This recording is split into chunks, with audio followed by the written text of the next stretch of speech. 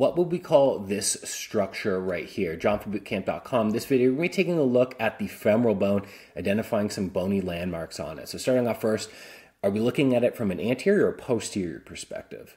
Well, we're looking at from an anterior perspective, and you can tell by the sort of smoothness of the shaft. On the posterior aspect, remember, we have the linea aspera, which is going to be that long line down the middle where a lot of those adductor muscles attach. You would also see more of a popliteal surface. You would see the articular surface of the medial and the lateral condyles.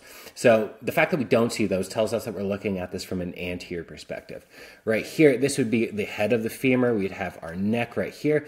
This would be our greater trochanter. This would be the intertrochanteric line, which would give some suggestion to what this would be right here. This is the lesser trochanter.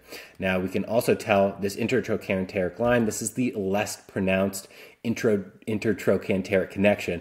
On the posterior aspect, we have the intertrochanteric crest, which is a lot more pronounced.